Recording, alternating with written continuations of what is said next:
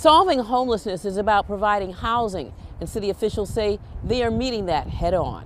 When people are supportive, in, supported in housing, emergency department visits go down, hospitalizations go down, overall health goes up, uh, public safety costs go down. Stakeholders and employees who work with getting the homeless off the streets say their efforts are working.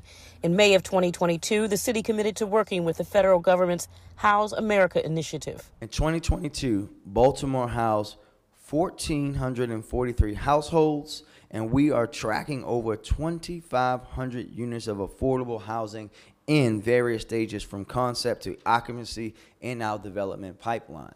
Going forward, the city says it has issued a request for proposals for rapid rehousing, and contracts have been approved by the city's Board of Estimates. They are now in the process of enrolling households. and all staff who work with people who are living in a housing crisis. This work is hard and tireless, but we celebrate with our clients as they sign their lease, get their keys, move in, and are reunited with family. And I thank you all. Renee Wau says the city helped her find housing when she lost her job, was fighting cancer, and transitioning. I cannot appreciate, I cannot express my appreciation for lifting me from here to where right here. Okay. Lisa Robinson, WBAL TV 11 News.